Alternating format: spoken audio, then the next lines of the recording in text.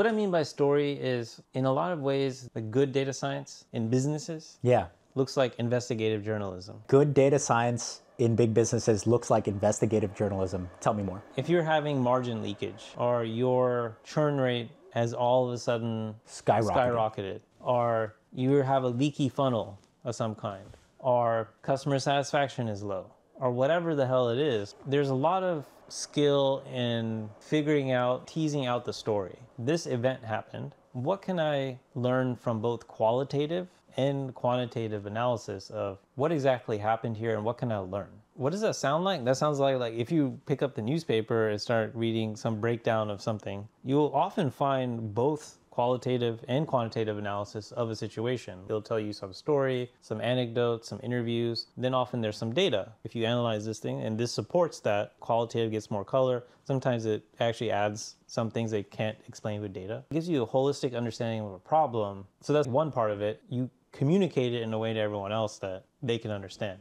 to like make some kind of decision. Yeah. And you can take it further. You can't reduce data science only to investigative But journalism, but that's like a good Yeah. sort of people don't think of it that way. They're like, oh, it's just about doing statistics and run some code on some data and whatever.